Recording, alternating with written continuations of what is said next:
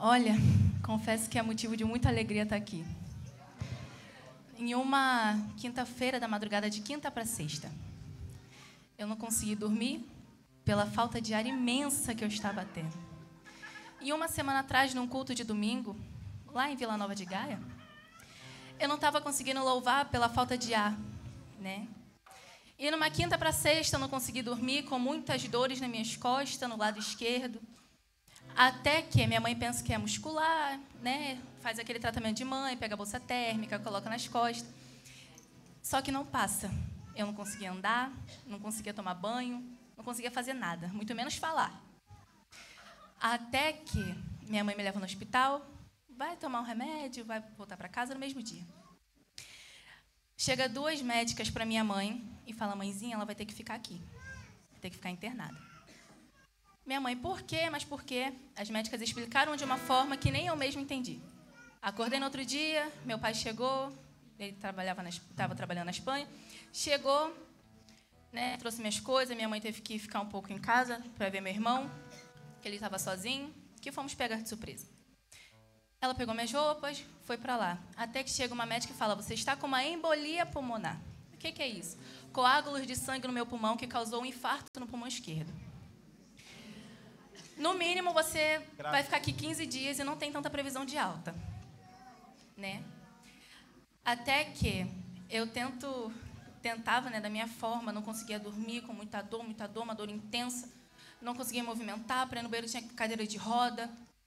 E chega um louvor na minha mente que eu tentei cantar. Eu sei que não estou só.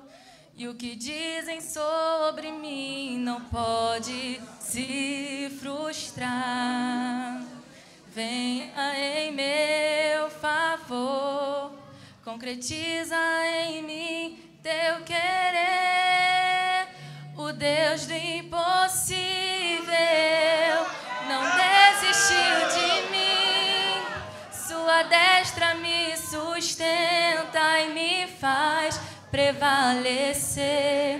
Eu cantando essa música naquele guarda hospital, não demora uma semana. Cheguei numa sexta, fui embora na próxima sexta, pelos que os médicos disseram que eu não tinha previsão de alta, fui embora em uma semana.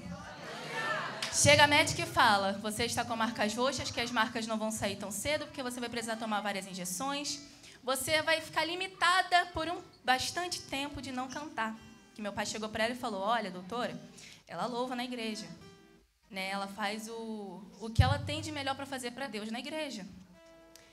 Ela fala, ela vai ficar limitada por um tempo de não louvar. Para quem não estava andando, falando, respirando direito, eu saí uma semana, eu falei, eu vou desobedecer um pouquinho, né? O que que custa? Na sexta eu saí, no domingo eu estava louvando. Louvei junto com os jovens.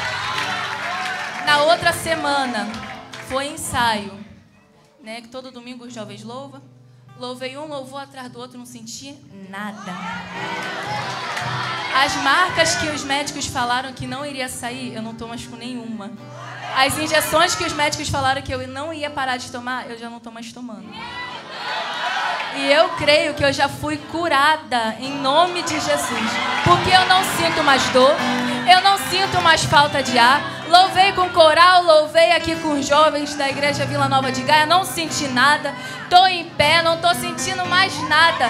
E eu sinto que eu estou melhor do que eu estava antes. Quando falarem, quando médico falar, advogado falar, juiz falar, qualquer pessoa falar para você, não tem como, não acredita. Porque a última palavra vem do céu, vem de Deus. Aleluia. Amém? Agradeço a oportunidade. Maravilha.